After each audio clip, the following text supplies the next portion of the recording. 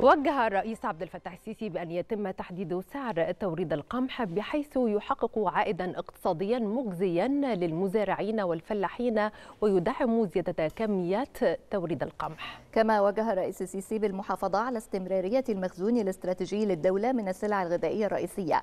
فضلا عن تعظيم القيمة المضافة لتخزين السلع من سلسلة الصوامع الاستراتيجية التي تم إقامتها على امتداد رقعة الجمهورية. جاء ذلك خلال اجتماع عقده الرئيس السيسي مع رئيس مجلس الوزراء مصطفى مدبولي ووزراء التموين والتخطيط والزراعة وعدد من المسؤولين حيث صرح المتحدث باسم رئاسة الجمهورية بأن الاجتماع تناول متابعة منظومة الأمن الغذائي وموقف المخزون الاستراتيجي للسلع الغذائية الأساسية على مستوى الجمهورية. أضاف متحدث الرئاسة أن الرئيس السيسي اطلع على موقف المخزون الاستراتيجي والأرصدة لجميع السلع الغذائية الأساسية للدولة وذلك في إطار التخطيط المسبق للدولة بالحفاظ على المخزون الاستراتيجي منها مع الأخذ في الاعتبار الأزمة الغذائية العالمية الحالية.